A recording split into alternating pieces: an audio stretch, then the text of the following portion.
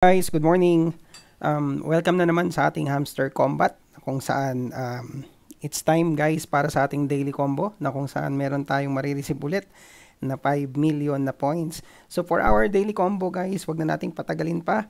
Um, Siyempre, need natin mahulaan yung pinaka 3 cards na yan. Well, sa social media like Facebook, marami nang nagpo-post. Okay, so ang pinakaunang card natin guys is yung marketing. So for this video tutorial guys, ituturo ko lang sa inyo kung paano nyo hahanapin or saan nyo hahanapin yung marketing para mapa-level up nyo and para guys mapunta dun sa ating pinaka 3 uh, ah, cards na combo.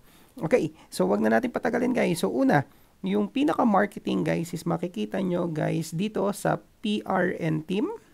Ayan, tapos scroll lang bandang baba. Ayan, so mapapansin nyo guys, andito na tayo sa ating marketing level 8. Profit per hour is 718 at nangangailangan tayo ng 8.55k na points para ma-level up. Okay, so i-click na natin yung marketing. Ayan, so go ahead. Ayan, so cool. First cards is ready, don't stop. Okay, so um, yan yung pinakaunang card natin guys, yung marketing. And then ang next naman natin, itong special hamster conference. So medyo ano to guys, um, medyo nung chinek ko, no, since medyo um, na-level up na natin, um, mataas na yung points na kailangan natin. Okay, so right now, um, pinaka next card natin is yung special hamster conference. Makikita nyo siya guys dito sa specials. Ayan, tapos scroll lang. Ayan.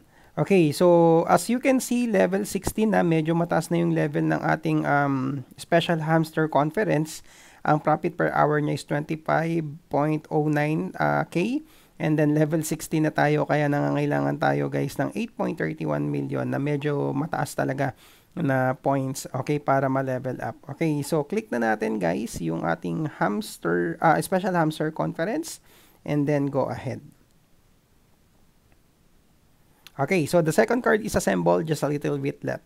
Okay, so um, Nakuha na natin guys yung marketing which is yung first card natin. Special Hamster Conference which is yung pangalawang uh, card natin. Yung pangalawa ay uh, yung pangatlo naman guys na card is yung training bots. Okay, so dito niyo siya makikita yung training bots. Uh, I mean trading bots dito sa market. And then sa pinaka bandang baba Ayan, makikita nyo yung trading uh, trading bots. Level 11 na tayo. Uh, profit per hour ng trading bots is 3.07k. Level 11, um, nangangailangan tayo ng 89.9k para mapa-level up natin. Okay, so click na natin and then go ahead.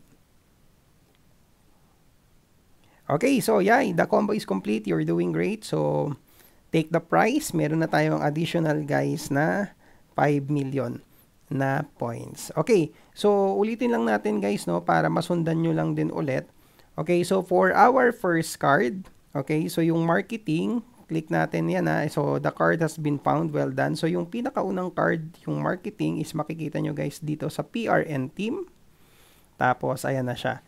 So marketing 838 per hour and then level 9 13.93k.